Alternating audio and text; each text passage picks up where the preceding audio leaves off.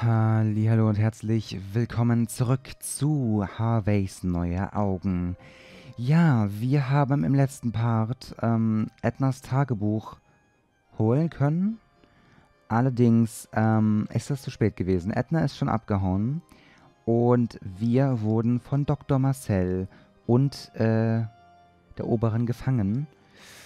Und Dr. Marcel hat uns mit Hilfe von einem präparierten, ha von einem prä präparierten HW-Stoffhasen ähm, hypnotisiert, sodass wir uns nicht widersetzen können. Wir haben auch hier unten Verbote, kein Feuer machen, also nicht mit Feuer spielen, den Erwachsenen nicht widersprechen, kein Alkohol trinken, nicht lügen, keine gefährlichen Orte betreten und so weiter und so fort. Ähm, und ja, wir haben jetzt die Aufgabe von der Oberen bekommen, ihr den Tee zu servieren. Allerdings haben wir dabei ähm, durch den Verhörraum des guten Garrates, der sich als, als Spion, Spion, herausgestellt hat, aber nicht für, sondern gegen die Oberen, ähm, erfahren, dass, also wir müssen zu ihm kommen, in seinen Geheimraum, ähm, und dass wir dafür dann eben der Oberen ähm, die Fiole mit dem Wahrheitsserum in den Tee schütten sollen. Und das äh, werden wir das hoffentlich hinbekommen. Ja, damit er ein Geständnis von denen bekommt. So. Lilly hatte... Okay, Tasse, Teekanne. Dann gehen wir mal Tee machen, ne?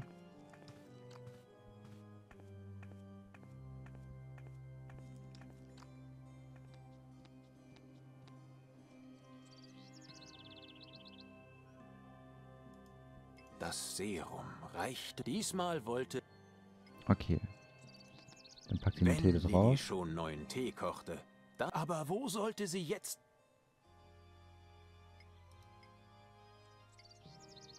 Hä? Dieser Tee war bereits... Ach so.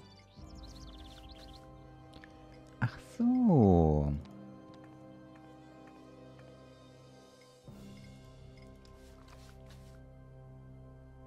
So, Wahrheitstee.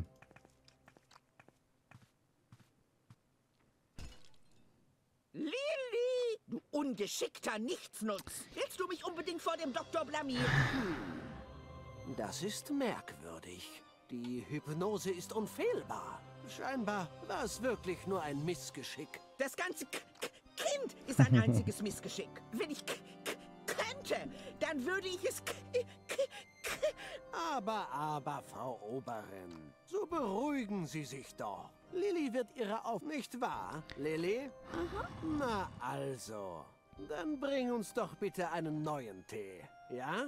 Sei mm. so gut. Lilly ließ sich nichts anmerken, aber sie stand kurz vor einer Panik. Neuen Tee zu servieren war ja kein Problem. Aber wo sollte sie jetzt neues Wahrheitsserum herbekommen? Keine Sorge, wir haben doch wundervolle Tollkirschen schon dabei. Haben wir ja schon mal im Voraus äh, ein bisschen gesorgt.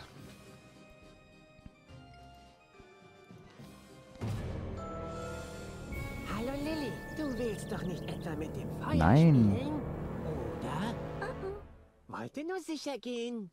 Ich will nur Tee kochen, keine Sorge. Lilly hängte den Kessel vorsichtig an den Haken und achtete dabei pingelig darauf, nicht das Feuer zu berühren. Creepy. Lillys Spezialtee war fertig. Sie nannte ihn Pure Wahrheit, eine Räubusch-Tollkirschen-Mischung. Mmh. Der ist bestimmt nicht heiß oder so. So, liebe Oberin, ich habe einen leckeren Tee für euch beide.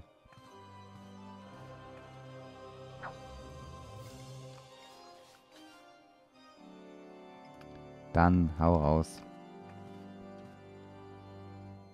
Na endlich. Es wurde ja auch Zeit. Dummes Ki... Ki... Ki... Okay.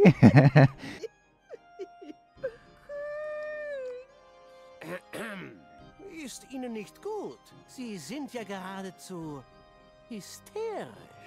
Es ist diese Stickerei. Sie erinnert mich an meine Zeit. Alter, ist das creepy. War so ein dummes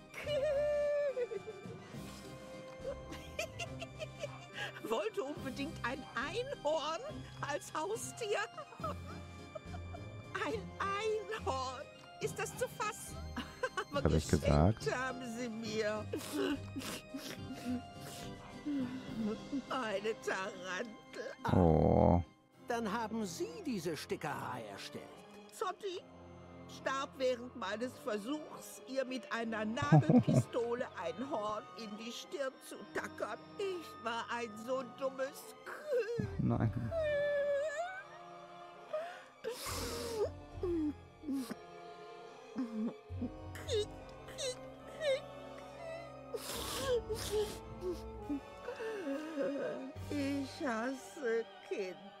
Weil sie selber keine Kindheit haben konnte. Oder nicht die, die haben möchte. Die Erwachsenen schienen mit Erwachsenenproblemen beschäftigt zu sein. Dies war Lillys Chance. Ich gehe dann mal. Tschüss.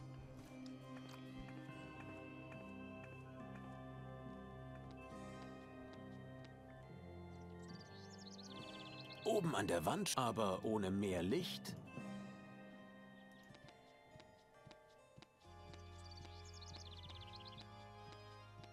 Warum sollte Lilly nach Geheimtüren suchen? Immerhin kannte sie bereits zwei andere Wege in Garretts Geheimraum.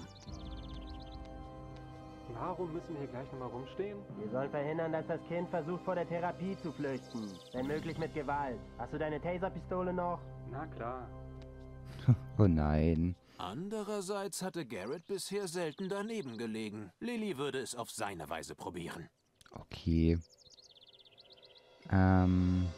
Ach, eine Wenn die Oberin in dunklen Nächten in ihrem Büro saß, zündete sie diese Fackeln an.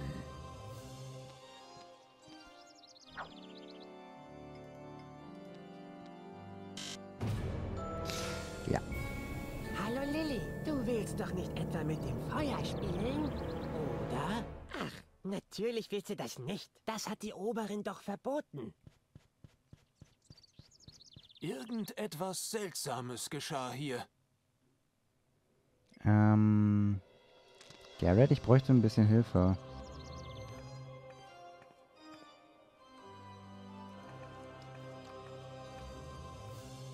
Ähm, Gut gemacht, Lilly. Ich habe alles gehört, was ich hören wollte. Die Oberin ist offenbar vollkommen gaga. Ich hatte schon so etwas vermutet. Jetzt schnell, komm zu mir in den Geheimraum. Es gibt eine geheime Tür in der dunklen Ecke vor dem Büro, direkt neben dem Außenkamin. Ach, verdammt. Du kannst natürlich kein Licht machen, weil du nicht mit Feuer spielen darfst. Das hatte ich ganz vergessen. Einen Moment. Lass mich nachdenken. Hm, ich glaube, ich habe eine Idee. Es gibt keine Möglichkeit, eine durch Hypnose installierte Blockade zu durchbrechen. Es sei denn, du wirst erneut hypnotisiert. Es ist riskant. Aber du könntest dich selbst in Trance versetzen, um die Blockade direkt in deinem eigenen Unterbewusstsein zu bekämpfen. Aber sei gewarnt, die Welt der Trance ist ein unheimlicher Ort. Wie ein paralleles Universum, das nur in deinem Kopf existiert. Sie ohne die Führung eines geschulten Hypnotiseurs zu durchwandeln, ist nicht ganz ungefährlich. Und die Blockaden, die der Doktor dir auferlegt hat, müssten dort mächtige Dämonen sein, die du nur im geistigen Zweikampf besiegen kannst. Hast du alles verstanden? Das musst du auch nicht. Noch nicht. Benutz einfach die Puppe, um dich selbst zu hypnotisieren. Und sobald du in Trance bist, suche den inneren Dämonen, der dich am Feuer machen hindert, und vernichte ihn. Okay. Sollten wir hinbekommen.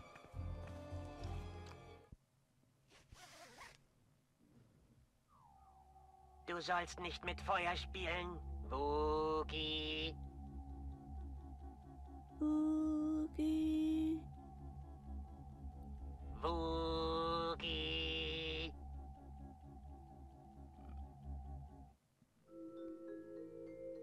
Hallo. Lilly hatte sich mit Hilfe des Hasen wieder in die Welt der Trance versetzt. Auf den ersten Blick wirkte hier alles fremd und seltsam. Vollkommen alleingelassen kauerte sie in einer kalten Höhle, die von dem riesigen Auge der Oberin argwöhnisch beleuchtet wurde. So groß war der Unterschied zur Realität also gar nicht. Ja. Diesen Staring Contest würde Lilly verlieren. Probably, ja. Die Schädel hier. Es war eine hölzerne Keule, wie Lilly sie nur aus Geschichten über Steinzeitmenschen, Trolle oder Baseballspieler kannte. Lilly hätte sich gerne etwas umgesehen, aber sie wollte nicht riskieren, von dem riesigen Auge der Oberin gesehen zu werden. Na dann. Ah, der Staub! Mein Auge brennt! Wer war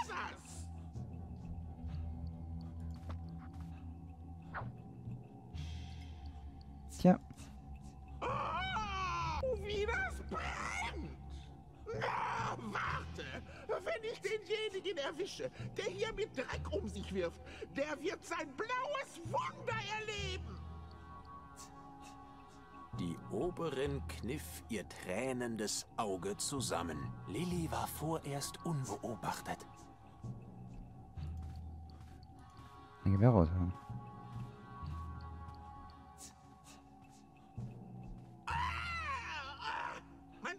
brennt!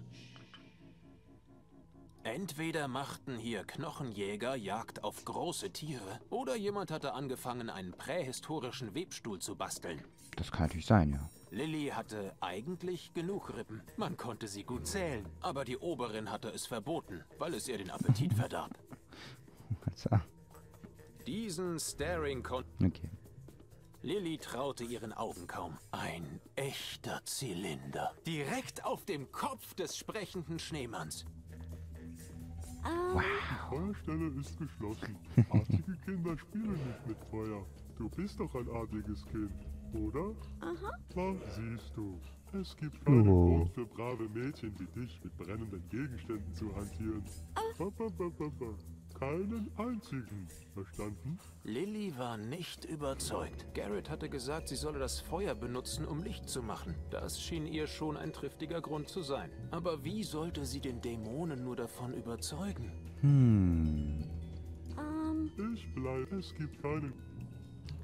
Lilly wollte ja nicht pingelig wirken, aber dies war wohl kaum der geeignete Platz für einen Schneemann. Verstehe ich aber auch nicht, hä? Ähm, zu oberen Rippen. Lilly hatte eigentlich, man konnte sie gut zählen, aber die Oberin Okay. Die Musik. Ähm. Okay, kannst du zu oberen. Ah, sie hat die Kontaktlinse Nach der Aktion rausgenommen. mit dem Vorhang hatte die Oberin offenbar ihre Kontaktlinse herausgenommen. Seltsam. In der realen Welt trug die Oberin eine Brille. Aber in der realen Welt war die Oberin auch keine 20 Meter groß. Stimmt. Also ging das wohl klar. Na dann, her damit. Und wir wissen ja alle, was, ähm. Ne? Nun, mein Lieber. Ich hoffe, ähm, du magst es schön warm. Lilly brauchte keine Sehhilfe, um zu erkennen, dies war wohl kaum der geeignete Platz für einen Schneemann. Lilly braucht dies. Das ist. Ah, die Rippen. Nanu, was ist das? Was riecht denn hier so komisch? Es riecht nicht nach Karotte. So viel steht fest. Das ist. Das ist. Feuer! Ah, ich brenne! Nimm mir den Hut ab! Nimm ihn ab! Lilly wusste nicht so recht. Eigentlich war es ihr verboten, mit Feuer zu spielen. Nun tu doch was, Lilly. Nimm mir den Hut ab. Nimm ihn ab. Danke, Lilly. Du hast mich gerettet. Aber siehst du mal, was Feuer alles anrichten kann. Am besten man lässt die Finger davon. Lilly war ein wenig zerknirscht. Der Schneemann schien gar nichts gelernt zu haben. Na, das wird er aber sowas von bereuen. Was soll das denn jetzt werden? Hey, lass da. Nein, nicht. Tschüss. Tschüss, Dämon. Schön mit dir. Lilly hatte das Feuer entsorgt. Genau wie der Schneemann es ihr aufgetragen Das hatte. stimmt. Hoffentlich hatte er jetzt eingesehen, dass es durchaus Situationen gab, in denen man mit Feuer spielen durfte. Dun, dun, dun, dun. Ach, ich liebe dieses, diesen, diesen Musik, Alter. Dun, dun, da, dun, dun, dun,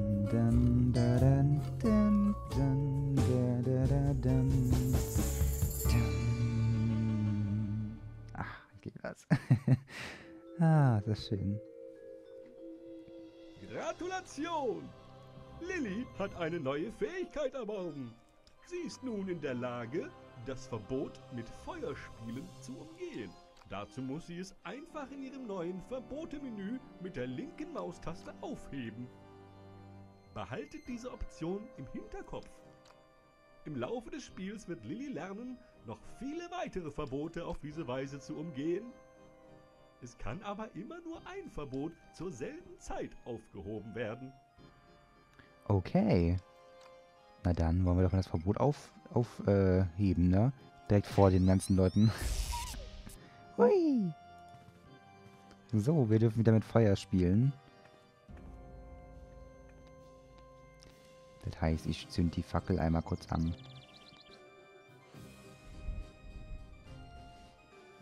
Das hat geklappt. Mit Hilfe der Fackel konnte Lilly endlich die geheimnisvolle Halterung inspizieren. Was für eine Überraschung! Es war eine Fackelhalterung. Ah. Von dem versprochenen Geheimgang fehlte jedoch nach wie vor jede Spur. Aber wir kennen doch die guten alten Filme. Tatsächlich, ein Geheimgang. Garrett hatte also wieder einmal recht behalten. Na dann, rein da. Lilly, du hast es gesch... Perfekt. Ich glaube, du bist nun endlich bereit, die Wahrheit zu erfahren. Tja, wo soll ich nur anfangen?